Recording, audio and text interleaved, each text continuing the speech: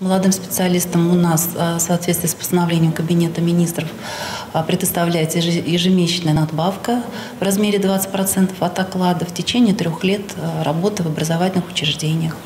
Вот.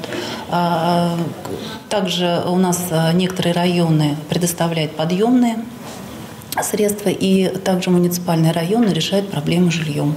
Сама я Заинска, но собираюсь остаться в Нижнекамске и работать в пятом садике, потому что люблю эту профессию. В дальнейшем работать хочу ну, воспитателем в детском саду, также хочу э, хореографом работать, чтобы детей развивать, чтобы ну, танцевали, более активные были.